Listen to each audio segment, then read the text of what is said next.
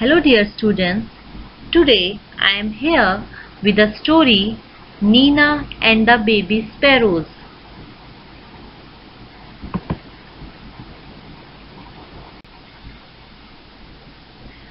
There was great joy in Nina's house.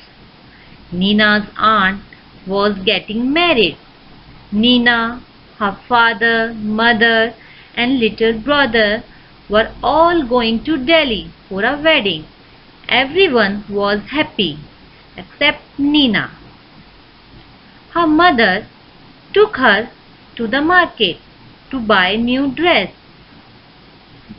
What color would you like?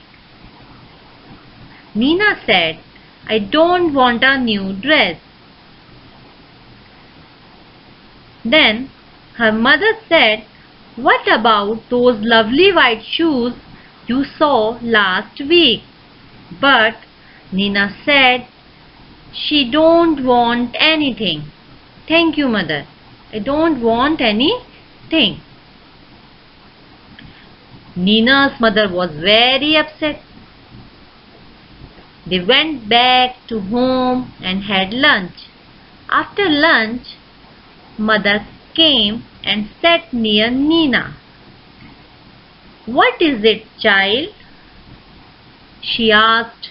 Why did you say no to everything? Mother, I don't want to go to the wedding. But why? Nina said nothing. Two big tears rolled down her cheeks. Mother put her arms around Nina. Don't cry, my child. She said, Why don't you tell me what's bothering you? Then more tears rolled down Nina's cheek. Mother, she said, there is a sparrow's nest on the bookshelf in my room and there are two baby sparrows in the nest. Okay, I see, said mother. They are just beginning to get their feathers and growing up makes them so hungry. All day long they cry cheep cheep asking for food. I see, said mother. Then Nina said, if we go, the whole place will be locked. And how will Papa and Mama sparrows feed their babies? Oh Nina, cried mother, giving her a big hug. Is that why you don't want to go to the wedding? But that's no problem at all, my child. We will leave the window open. Oh, can we, mother? Can we really? Yes, yes, we will. Remove all your things from the room and lock the door on the outside. So, the house will be perfectly safe and Papa and Mama sparrows can come and go freely here.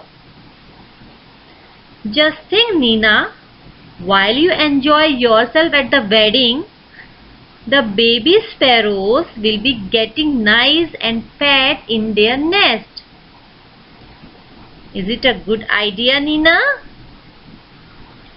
Nina said, Yes, it was a good idea, mother.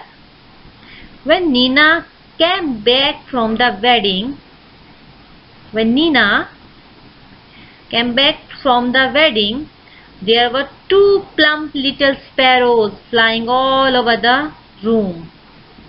And now Nina was so happy. Okay children, this is the story. Nina and the baby sparrows. Nina loved the baby sparrows very much. Because of them, she don't want to go to the marriage. Now, let's discuss some new words from the chapter. Okay. So, move to the new words. Here. The first word is market, meaning a place for purchase and sale of commodities. Usage We went to the market to buy vegetables. Next word is bother, meaning to worry. Usage You do not have to bother about my homework. Okay? Let's move to the next word. Problem. The word is problem, meaning difficulty. Usage This problem is difficult to solve. Okay. Next.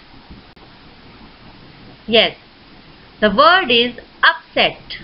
The word is upset and meaning unhappy.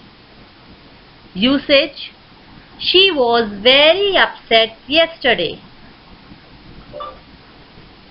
Next word is remove and meaning of the word is to get rid of. To get rid of. Usage remove the books from the desk. Remove the books from the desk. Here next word is wedding meaning a marriage ceremony. Usage I met my best friend in a wedding. So next word is plump. P-L-U-M-P plump. And the meaning of the word is chubby. Usage I met a plump lady on the street. So these are the new words from the chapter.